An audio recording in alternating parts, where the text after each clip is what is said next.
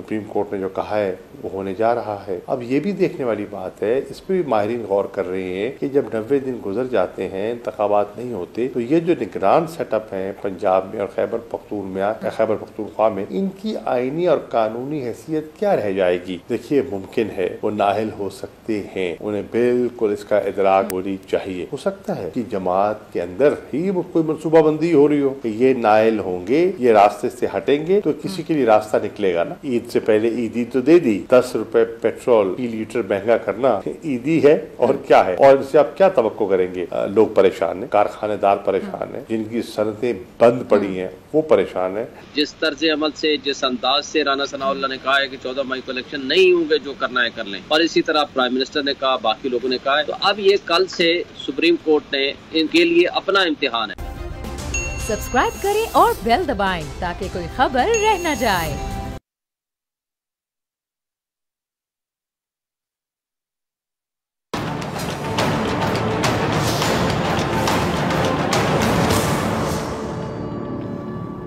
Aslam programme में खुश आमदी नाजिन मुल्क का सबसे सुप्रीम इदारा, parliament, supreme court of Pakistan के अहकाम मानने से इनकारी है। पंजाब में इंतबात के हवाले से सुप्रीम कोर्ट के हुक्म पर इलेक्शन कमीशन को आज 21 अरब रुपए फंड्स फरामी का आखिरी दिन है, जो गुजर चुका है। कौमी असम्बली ने पंजाब में इंतबात के लिए इक्कीस अरब रुपए फंड्स की जिमनी ग्रांट की जो डिमांड है, वो मुस्तरद करते हुए तहरीक को कसरत राय से मुस्तरद भी कर दिया है। अब आइन की जो बालादस्ती है, अदलिया की आज़ादी, उसके हवाले से सीनियर वकला और माहिर कानून की गोल मिस कॉन्फ्रेंस हुई। जिसमें एलामिया ये जारी किया गया कि पंजाब और के पी के इलेक्शन सुप्रीम कोर्ट के अहकाम की रोशनी में होने चाहिए। अदालत को रेगुलेट करने के लिए कानून साजी का मतलब इसकी आज़ादी, वकार और अथॉरिटी को नुकसान पहुंचाना है। सीनियर कानूनदान बैरिस्टर चौधरी एतजाज एहसन ने इस हवाले से कुछ कहा है। गुफ्तु की है, जरा सुनिएगा। मगर मुल्क के जो वज़ीर दाखिला हैं, मुस्लिम लीग के सीनियर रहनुमा, राना सनावला साहब तो कुछ और ही बताते हैं। और ना सिर्फ़ बताते हैं, बल्कि धमकाते भी हैं। उनका कहना यह है कि इलेक्शन के लिए इलेक्शन कमीशन को 21 अरब रुपए देने और दिलवाने वाले दोनों के लिए मुश्किल हो सकती हैं। ऐसा ना हो कि पैसे देने और दिलवाने वाले सारी उम्र अदायगियाँ करते रहें। सुनिएगा जरा। तो मामला जनाब अब ये है कि अब तक जो निगरा हुकूमत है, इलेक्शन कमीशन, पीडीएम हुकूमत को और जो पीडीएम है, वो निगरा हुकूमत को बॉल फेंकती नज़र आ रही है। कैसे जरा देखिएगा। अब मौजूदा सूरत हाल ये कि जो निगरा हुकूमत की मुद्दत खत्म हो गई है, मगर निगरा हुकूमत जिस मकसद के लिए बनाई जाती है, वो मकसद पूरा करने में नाकाम रही है। क्या सुप्रीम कोर्ट के हुक्म के मुताबिक चौदह मई को इलेक्शन होंगे? क्या नब्बे रोज में इंतबात ना होना आइन शिकनी है? इसके साथ साथ जमात इस्लामी हुकूमत और अपोजिशन के दरमियान सालिस बनकर मुजाकर का जो रास्ता है, राह है, उसको हमवार करने जा रही है। क्या ये मुजाकर जो वन पॉइंट एजेंडा पर है, कामयाब होंगे या नहीं? होंगे या नहीं? क्योंकि पाकिस्तान तहरीक इंसाफ का मौकफ ये है कि जनरल इलेक्शन पर बात करनी है तो करें। पंजाब और के पी के इंतबात तो वक्त पर ही होंगे। इस तमाम तो सूरत पर बात करने के लिए मेरे साथ मौजूद हैं पाकिस्तान तहरीक इंसाफ के वाइस चेयरमैन शाह महमूद कुरैशी साहब। बहुत शुक्रिया आपके कीमती वक्त के लिए। कुरैशी साहब सबसे पहले, ये फाजिल जज साहिबान के खिलाफ मुहिम साजी, बेंच पर तहफात बेबुनियाद इल्ज़ाम फिर मुफादात पर मबनी जो कानून साजी, और अब खुल्लम खुल्ला सुप्रीम कोर्ट के अहकाम से इनकार। आप कैसे देख रहे हैं आप हुकूमत के रवैये को? क्या रियासत की, रियासत के अंदर रियासत बनाई जा रही है, कुरैशी साहब? देखिए, वो ये इशारा दे रहे हैं कि वो फैसले जो हमारी मनपसंद नहीं होंगे चाहे आइन के बारे में कोई राय रखता हो हमें काबिल कबूल नहीं है। यानी कि हम आइन से बाला हैं और आइन हमारे ताबे है हम आइन के ताबे नहीं हैं। ये बड़ी ख़तरनाक बात है। जब आइन में एक वाज तयन है नबे दिन का जब सुप्रीम कोर्ट ने एक वाज फैसला किया है जब सुप्रीम कोर्ट ने वाज हिदायत दी थी कि आज यानी कि सत्रह तारीख तक जो पैसा है वो मुंतकिल हो जाना चाहिए। इक्कीस अरब मुंतकिल हो जाना चाहिए इलेक्शन कमीशन के अकाउंट में। आज आपने देखा कि फिर इन्होंने हम्म। एक नया खेल खेला कि जनाब फाइनेंस कमेटी का इजलास हो रहा है। वो जनाब कह रहे हैं कि कैबिनेट नई समरी मूव करे फिर पार्लियामेंट मंजूरी दे। ये वही दलाइल हैं जो पहले वो दे चुके हैं। और सब कुछ सुनने के बाद सुप्रीम कोर्ट ने उनको मुस्तरद किया और उनको हुक्म जारी किया कि आप आ, पैसा मुंतकिल कीजिए और एक्टिंग गवर्नर स्टेट बैंक ने वहाँ कमिट किया कि मैं पैसा दूँगा और सत्रह तारीख तक मुंतकिल हो जाएँगे। आज आपने देखा नई नशस्तें हुई फिर इजलास हुआ वज़ीर कानून भी थे मिनिस्ट्री ऑफ़ फाइनेंस भी थी उनके सब लोगों ने फिर उस सुप्रीम कोर्ट के फैसले को हवा में उड़ाने की कोशिश की। अब देखते हैं कि कल सुप्रीम कोर्ट क्या फैसला करती है। मेरी नज़र में तो उन्हें न सिर्फ़ आइन शिकनी की है सुप्रीम कोर्ट के ऑर्डर को फ्लाउट किया है आ, उसके साथ खिलवाड़ किया है एक मज़ाक उड़ाया है। और कोई महजब माशरा या शहरी इसकी इजाज़त नहीं दे सकते। आज ये सुप्रीम कोर्ट फैसला नहीं मानते। कल किसी और को फैसला पसंद नहीं आता वो नहीं मानते। परसों कोई और नहीं मानता। तो फिर तो अदल इंसाफ का निज़ाम भी ख़त्म हो गया ना। फिर मुल्क का नज्म नस्क कैसे हम्म। चलेगा? तो ये सब चीज़ें काबिल हम्म। गौर हैं। ठीक है। अच्छा कुरैशी साहब मुजाकरात की बड़ी बातें हो रही हैं। अच्छी बात है मुजाकरात होने चाहिए। फामो तफीम से जो मामला हैं वो हल हो जाएँ तो इससे अच्छी बात ही और क्या होगी? मगर फवाद चौधरी साहब ये फरमा रहे हैं कि कौमी असम्बली के इंतबात पर बात करनी है तो कर लें। पंजाब के पी के, के जो इलेक्शन है वो तो वक्त पर ही होंगे। तो क्या सूबों और कौमी असम्बली के जो इंतबात हैं अब एक साथ नहीं हो सकते हैं? सूरत हाल को कैसे देखते हैं आप? देखिए पहली बात तो ये है कि जहाँ तक पंजाब का ताल्लुक है और खैबर पख्तूनख्वा का ताल्लुक है ये दोनों हुकूमतें आइनी तरीक़ा को फॉलो करते हुए तहलील की गई। जिस दिन वो तहलील हुई तो नबे दिन का मीटर शुरू हो गया और वो उसकी अब टाइम ख़त्म हो चुका है और होने जा रहा है। हम्म। सुप्रीम कोर्ट ने जो कहा है वो होने जा रहा है। अब ये भी देखने वाली बात है इस पर भी माहरीन गौर कर रहे हैं कि जब नबे दिन गुजर जाते हैं इंतबात नहीं होते तो ये जो निगरान सेटअप हैं पंजाब में और खैबर पख्तून में या हम्म। खैबर पख्तूनख्वा में इनकी आइनी और कानूनी हैसियत क्या रह जाएगी? क्या वो एग्जेक्टिव ऑर्डर्स कर सकेंगे? क्या वो पर्स जो है एक्सचकर का अपने अपने सूबों में आ, वो चला पाएँगे? जो अफसर उनके हुक्म की तामील करेंगे हम्म। क्या वो आइन शिकनी कर रहे होंगे ये तो बहुत से सवाल हैं जो जन्म लेंगे लेकिन नबे दिन की शर्त हम्म।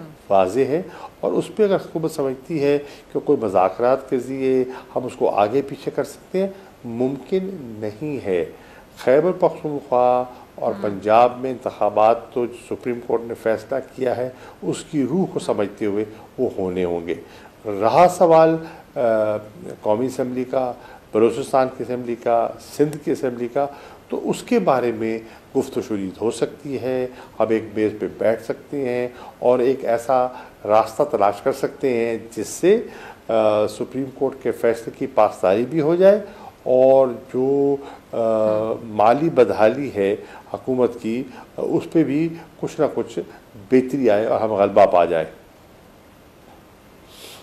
ठीक है तो नब्बे दिन के अंदर अगर इंतबात नहीं करवाए जाते कुरैशी साहब जो कि मतलब लग ऐसा रहा है बज़ाहिर आगे जो होगा देखा जाएगा तो फिर ये होगा क्या आइन और कानून तो बड़ा हम्म। वाजे है फिर किसके सर पे नाहली की तलवार लटकती आप देखते हैं वाजे देखिए इसमें अब कैबिनेट किसको कहते हैं वज़ी अजम और हम्म। वज़रा जब मिलते हैं ना ये कैबिनेट हम्म। बनती है और अगर कैबिनेट कानून को समझते हुए वो आँख बंद कर ले और पार्लियामेंट को एक ढाल के तौर पर इस्तेमाल करना चाहे तो नामनासिब चीज़ है लेकिन सियासत है ऐसा लोग करते हैं।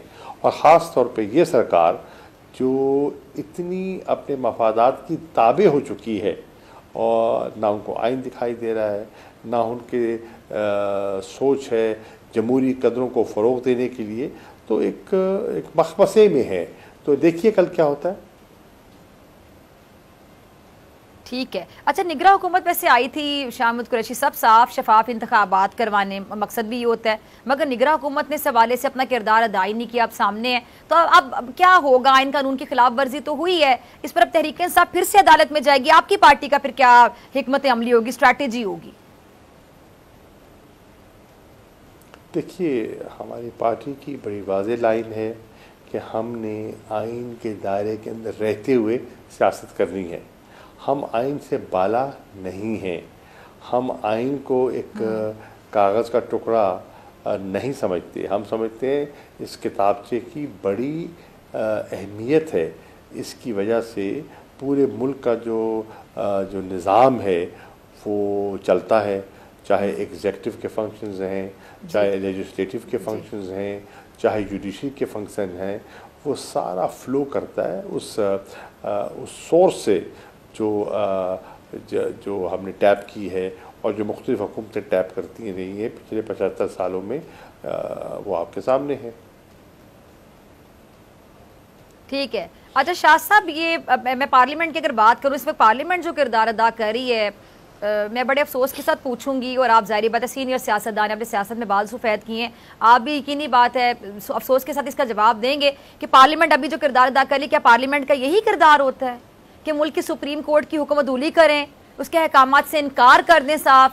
अब इससे अवाम को प्रैक्टिकली क्या पैगाम दिया जा रहा है? क्योंकि सियासतदान जो है अवामी नुमाइंदे होते हैं। अवाम के लिए तो ये रोल मॉडल्स है ना। अगर इस तरह ये कानून की खिलाफ वर्जी करेंगे तो आम शहरी को क्या प्रैक्टिकली एक मैसेज जाएगा? आपने सही कहा। आम लोगों पर इसका तासर सही नहीं जाएगा और वो हैरान होंगे ये क्या हो रहा है?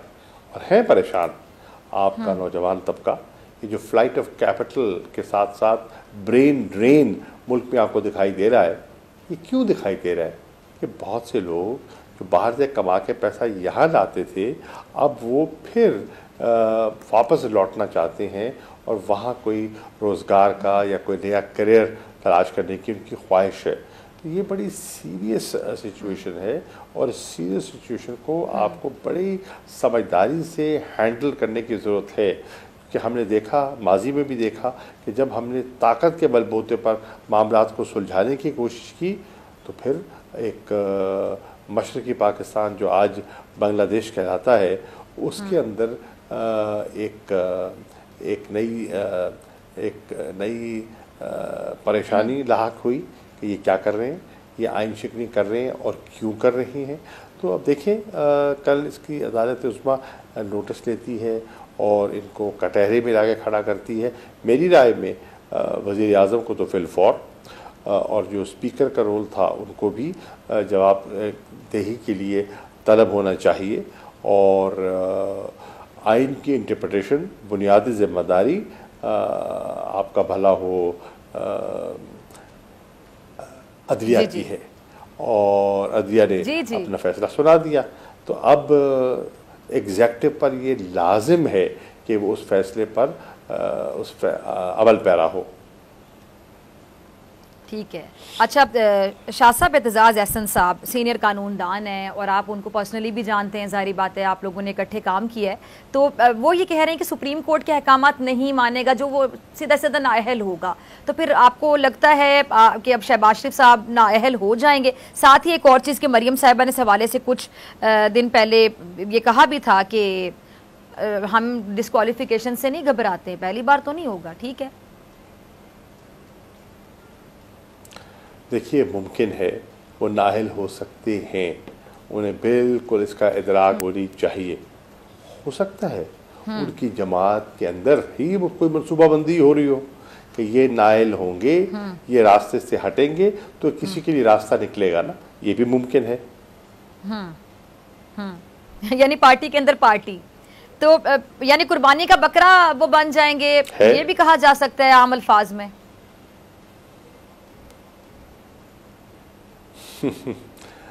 आम अल्फ़ा, देखिए, उनको इतनी समझ बूझ होनी चाहिए। क्यों बनना चाहते हैं बकरा? उनका हुक्म हुक्म दें फाइनेंस डिवीज़न को कि पैसा रिलीज़ करो। वो बकरे नहीं बनेंगे। अगर उन्हें बकरा बनना है या बकरी होना है तो फिर उसमें आप और मैं क्या कर सकते हैं? वैसे अमूमन ये कहा जाता है कि जी शहबाज शरीफ साहब और नवाज़ शरीफ साहब मतलब उनका इतना रिगार्ड करते हैं कि बड़े भाई हैं और मतलब लेकिन जब वज़ी अजम का मनसब उनको मिला तो फिर आपको क्या लगता है कि वज़ी अजम का मनसब बहुत बड़ा मनसब होता है, लेकिन यहाँ पर भी नवाज़ शरीफ साहब की राय के मोहताज हैं? सुप्रीम कोर्ट का मनसब बहुत बड़ा मनसब है। पार्लियामेंट का अपना मकाम है। हाँ। देखिए हमारे आइन में पूरा जो हमारे जो फाउंडर्स हैं ना जो फ्रेमर्स ऑफ़ द कॉन्स्टिट्यूशन है उन्होंने एक कॉन्सेप्ट रखा ट्राइकॉटमी ऑफ़ पार का। और उनने वजाहत कर दी कि ये रोल एग्जेक्टिव का है ये रोल लेजिस्लेचर का होगा और ये रोल जुडिशरी का है। उन्होंने बड़ी जेलसली सेफ़ गार्ड किया है over the years independence of judiciary को। और वो समझते हैं और दुरुस्त समझते थे और समझते हैं कि अगर जुडिशरी पर उनके फैसलों पर अमल दरामद ही नहीं होना तो फिर तो यहाँ जंगल का कानून है। मैं जाता हूँ केस करता हूँ सुप्रीम कोर्ट में मेरे हक में आ गया तो मिठाई बांटता हूँ मेरे खिलाफ आया तो कहता हूँ मैं नहीं मानूँगा। तो ऐसा तो जो कहते हैं ना जो एक आम देहातों में पंचायत होती है उसमें भी ऐसा लोग नहीं करते वहाँ भी लोग अपनी ज़बान की अ, पासदारी करते हैं एक कोड ऑफ़ एथिक्स होता है उसकी पाबंदी अख्तियार करते हैं। चेजा कि ये हुकूमत जो कर रही है आपके सामने है अच्छा अक्सर आप लोगों की पार्टी के सामने जानिब से कहा जाता है कि लंदन में फैसले हो रहे हैं। ये लंदन प्लान का हिस्सा है। तो जो, लंदन में फैसले होते हैं ज़ाहिर बात है, नवाज़ शरीफ साहब की तरफ़ इशारा होता है कि नवाज़ शरीफ साहब वहाँ से सारे फैसले लेते हैं। तो हम कह सकते हैं कि शहबाज शरीफ साहब, वैसे तो वजी अजम का मनसब बहुत बड़ा मनसब होता है। तो शबाज शरीफ साहब जो हैं, नवाज़ शरीफ के सामने कमज़ोर हैं या फैसलों में उनके मोहताज हैं? यकीन मोहताज हैं। देखिए इस वक्त सदर मुस्लिम लीग नवाज़ के शबाज शरीफ साहब हैं। वज़ीर अजम शबाज शरीफ साहब हैं। लेकिन बाख्तियार पार्टी वर्कर पे और पार्टी की तंजीम पे जो गिरफ्त है वो नवाज़ शरीफ साहब की है। जो मुस्लिम लीग नून का वोटर है। वो शबाज शरीफ का मोतरफ तो हो सकता है वो लीडर नहीं मानता उनको। लीडर कहते हैं हमारे एक हैं और वो है नवाज़ शरीफ ये उनकी पार्टी का को मानते हैं, एक एक स्टेटेड। उनकी पोजीशन है। नवाज़ शरीफ की पार्टी की स्टेटेड पोजीशन है। ठीक है। अच्छा कुरैशी साहब आखिरी दो मिनट है आपकी मौजूदगी का फ़ायदा उठाते हुए। ईद से पहले ईदी के हवाले से एक मरियम साहिबा ने लास्ट ईयर का एक क्लिप है आप लोगों की जब हुकूमत थी तब की बात है कि आई थिंक पिछले साल की बात है कि उन्होंने कहा था कि जी ईद से पहले ईदी दी जा रही है क्योंकि पेट्रोल महँगा हुआ था। अब तो पेट्रोल की जो कीमतें हैं वो आसमान को बाकायदा छू रही हैं। तो अब ईद से पहले जो ईदी दे दी गई है कल उस पर जरा कमेंट कर दीजिएगा। इस हुकूमत में ईद से पहले ईदी जायज़ है? आपकी हुकूमत में दे दी जाती थी और वो भी से बहुत कम तो वो नाजायज होती थी? बिल्कुल आप सही नहीं आपने सही कहा। ईद से पहले ईदी तो दे दी। दस रुपए पेट्रोल फ़ी लीटर महँगा करना ईदी है और क्या है? और इससे आप क्या तो करेंगे? अ, लोग परेशान हैं। कारखानेदार परेशान हैं। जिनकी सनतें बंद पड़ी हैं वो परेशान हैं। आप नल खोले तो पानी नहीं मिलता। चूल्हा जलाना चाहें तो गैस दस्तियाब नहीं है। बेचारे लोग आटे की लाइनों में लगे हुए हैं, आटा लेने के लिए वहाँ से तो बेचारे शहीद होकर आ रहे हैं। बिल्कुल। रिस्क की तलाश में जाते हैं शहीद होकर आ जाते हैं बेचारे। है। मैं तो उनको शहीद ही कहूँगी। कोई अल्लाह जी कोई अल्लाह की खुशनुदी के लिए अगर कोई अ, अपना कोई राशन बांटता है तो उस पर भी काबिज हो जाते हैं कि हमारे ज़रिए बांटो। और फिर आपने देखा कि वही सामान जो जलजिले वालों के लिए आया था वो बाज़ारों में बिक रहा था। अफसोसनाक बात है ना कि बाहर की दुनिया आपकी तकलीफ़ में अ, समझते हुए आपके हिस्सेदार बनना चाहती है आपकी इमदाद करना चाहती है और आप अपने रवैये से क्या मैसेज दे रहे हैं? ये मुनासिब नहीं है। ठीक है शाह कुरैशी साहब बहुत शुक्रिया आपके वक्त के लिए। नाजिन आपसे मुलाकात होगी। शॉर्ट ब्रेक के बाद।